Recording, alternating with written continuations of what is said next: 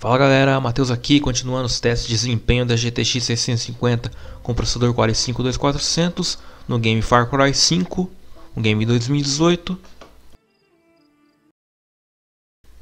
Aqui as especificações com mais detalhes da placa de vídeo, do processador e da memória RAM no CPU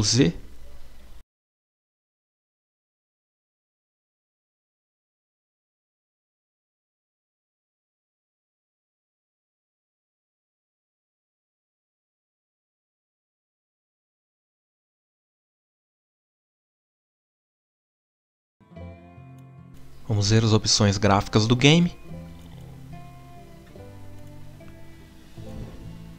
Aqui no mínimo possível que dá para rodar o game. 1280 por 720, que é a resolução mínima. Qualidade tudo no mínimo. Aqui ó, tudo no baixo.